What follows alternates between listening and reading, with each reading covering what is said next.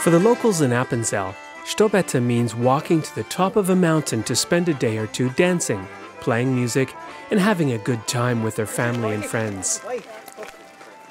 The dancers and the musicians wear their tracht, the traditional dress that was worn by their ancestors, who were very proud farmers and skilled embroiderers.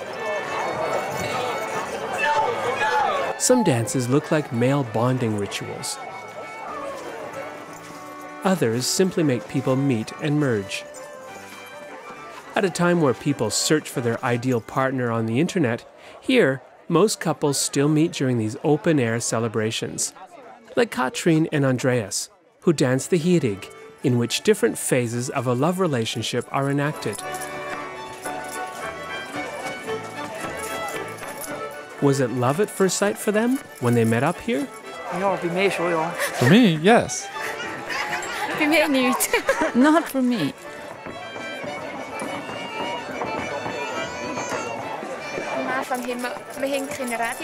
At the beginning, we didn't have a radio or a CD player, so we practiced in the kitchen singing the melody.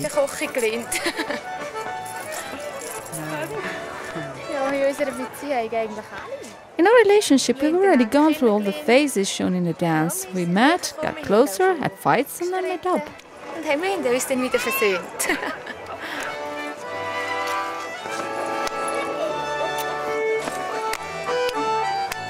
The young couple just got married a couple of weeks ago. They both work and are saving for their honeymoon trip to Canada. They're fascinated by this country, but they'd never move there or anywhere else, even if they had the opportunity to own their own farm. When you've got this, you don't want to immigrate. We're too tied to our homeland. I also couldn't leave. This is why we found each other. We both belong here. Ja, darum haben wir den eng gefunden, weil wir beide hierher gehören.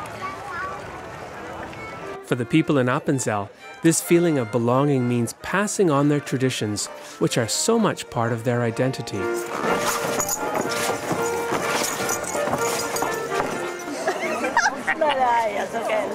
But as far as being in love, if it's fairly easy for young hearts, what holds two people together for a lifetime? Like this couple, who've been married for 29 years. What's their secret?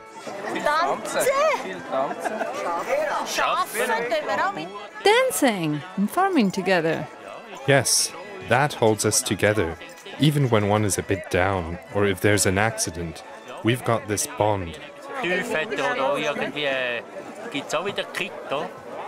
So, dancing together, sharing the love for their beautiful land, this seems the recipe for a long and happy marriage in Appenzell.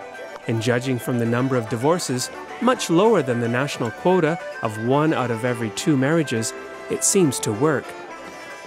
But even here in Appenzell, you don't marry the first one who asks you to dance.